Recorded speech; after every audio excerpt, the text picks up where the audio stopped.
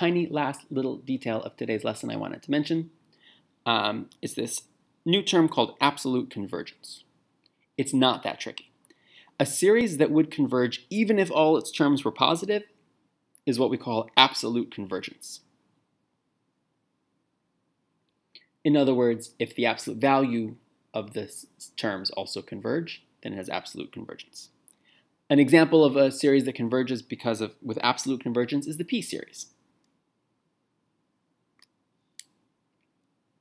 Um, whether or not a p-series has alternating signs, the series will converge, so it's called absolute convergence.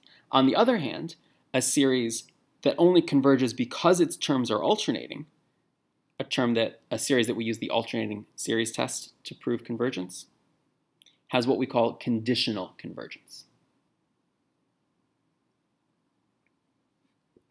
Um, many of the series that converge because of the alternating series test fit this bill, like the alternating harmonic series is probably the most famous one, 1 minus 1 half plus 1 third minus 1 fourth.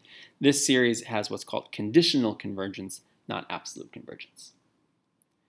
Um, you are occasionally asked, does a series have absolute convergence? And all you have to do is check and see if the alternating signs matter or not.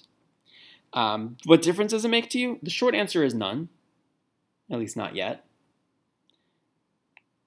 Uh, the longer answer, um, and you get into some really cool advanced math with this stuff, um, in a conditionally convergent series, like the alternating harmonic one that I just wrote down, you can rearrange the order of the terms and get a different sum.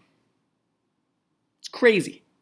If you look at this, the alternating harmonic series, 1 minus 1 half, plus one third, um, minus one fourth, plus one fifth, you might recognize this as the sum of, the Taylor series for ln of x. It's just in ln of x, we see this as x minus 1, and then x minus 1 squared, and then x minus 1 cubed.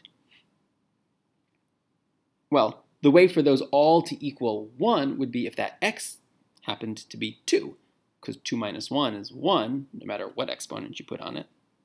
So this whole thing is equal to the ln of 2.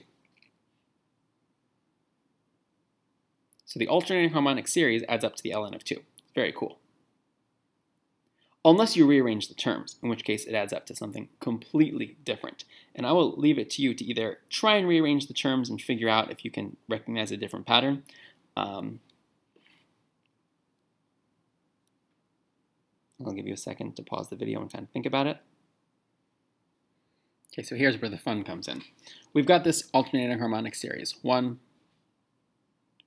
minus 1 half plus 1 third minus 1 fourth plus 1 fifth, and so on. Which, by the way, I just showed you is equal to ln of 2, but that doesn't matter to us quite yet. Let's just give this a name. I just want to say that this sum, I, I'm going to call it x, just for the moment. It equals some sum. We know it's ln of 2, but let's just call it x to keep it simple. If I were to take that sum and multiply it by 2, that would of course give me 2x. And of course I could also just distribute that 2 to all of these terms. I'm just multiplying everything here by 2. 2 minus 2 over 2 plus 2 over 3 minus 2 over 4. I'm just distributing a 2. But what happens when I do that is a lot of these terms can reduce. So let's kind of rewrite that reduced. Um, 2 minus 1 Two thirds I can't really reduce. One half I can. Uh, two fifths I can't. Sorry, the next one I probably should have included here. Go back and add one more term here. Plus one sixth is useful for me. When I double it, that would have been equal to two sixths. Sorry, correction, that would be a minus sign, not plus sign. And when I reduce that, it's minus one third, and so on. I can keep going like this. You'd think it would equal to 2 ln of 2, right? We'll see about that. Well, what I want you to notice in this sum is there's a lot of terms that share a denominator. You can kind of think of them like like terms. We can kind of collect them and put them together. Like 2 minus 1 we can combine, and then uh, 2 thirds minus 1 third we can combine, etc. So let's do that. Let's do some collecting here. Remember, this is still just 2x, 2 times my sum. Well, 2 minus 1 is 1.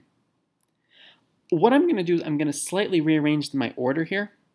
You'll see why very clearly in just a second. I'm going to save that 2 thirds for just a moment. I'm going to skip over that term for just a second. I'm going to jump to the next term and put that next, minus 1 half. And then in my next terms, what I can do is collect the positive 2 thirds minus 1 third. Well, 2 thirds minus 1 third is just 1 third. And I think you can start to see what's happening here. The same thing is going to happen for my fifths. If I um, there's going to be a 1 fifth later on. When I subtract those, that'll be positive 1 fifth. And then the minus 2 eighths, which I didn't bother writing down, but if I were to keep going, it would show up there also. And wait a second, 2x is equal to 1 minus 1 half plus a third minus a fourth plus a fifth. But wait a second, didn't we just say that was equal to x? So when I doubled the alternating harmonic series, I once again got to the alternating harmonic series. So 2x equals x. Obviously, there's something wrong here. And it takes much more advanced math to figure out exactly what's wrong here. Um, I'll give you a hint. It's called the Riemann's summation theorem. Riemann's, Riemann series, Riemann series theorem, I think is what it's called. That doesn't matter to us. What matters to us is the fact that this only happens in conditionally convergent series.